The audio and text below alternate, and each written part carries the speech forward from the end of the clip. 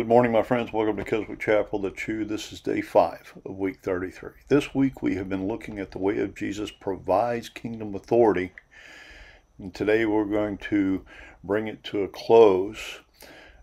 We've looked at the way of Jesus as one of power, the way of Jesus is one of authority, and today the way of Jesus involves kingdom messaging. Just a, a brief recap of some of the points from earlier this week. We've looked at the stage related model of Jesus' life, the master plan of evangelism and the eight steps by Robert E. Coleman. Today, the way of Jesus is, involves kingdom messaging.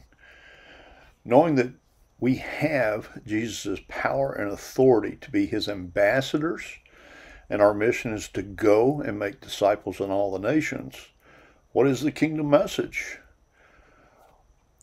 We're going to look at six points in total that will help us. So grab a pen and paper and be ready. Remember, you can always see the full notes of this on the Keswick Chapel YouTube channel, Keswick Chapel. Number one, Holy Spirit power and authority we talked about yesterday. It is given to us in Jesus' name. Looking at Mark chapter 4, verses 1 through 9, the kingdom of God is like a man who sowed good seed. Finding good soil produces a good crop, multiplying 30, 60, and some 100 times that which is sown. So the kingdom of God is about good soil and it's about good seed and multiplication we're involved in this kingdom purpose. Number three, Mark 4, verses 30 and 32. The kingdom of God is like a mustard seed. It's the smallest of all seeds, yet it produces the largest plant in the garden. The message for us our faith can grow greater than you might even think possible. Matthew 13, verse 44. The kingdom of God is like hidden treasure. Finding it is a treasure worth all that you could ever imagine. Like the parable, this is worth everything.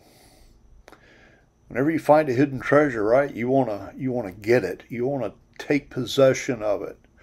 That's what the kingdom of God is like. It's like hidden treasure. And in Matthew chapter 13, verses 45 and 46, the kingdom of God is like fine pearls. Once you find it, you have to buy it. You'll do whatever it takes. The kingdom of God is here and now, my friends. This message means everything both now and in the future. Why? Because the kingdom message is meant for everyone. And as, as his disciples, we are expected to share this good news with everyone. It's priceless, it's precious, it's worth obtaining, it is worth seeking after. God has freely given us this through Jesus. And in Jesus, we have the power and authority of the kingdom message.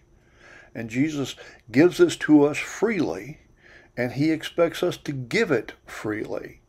Matthew chapter 10 verse 8 says just that. Freely you have received, freely give. So how do we apply this? Well, we need to get plugged into the power source, don't we? And once we get plugged in, we need to stay plugged in. Anyone who knows who's ever used a cordless a corded tool knows that once you plug it in, if you go beyond the length of the cord, then you come unplugged. And once you get unplugged, it dies. We don't want to be that way. We want to remain plugged in. We want to be connected to the source. We need to remember that our authority is based on Jesus and in his name alone. And we need to be responsible with his name. The kingdom of God, my friends, is here now. It's not something off in the future. It is with us now. It is in us now as God's children in Jesus Christ. Which way are you choosing?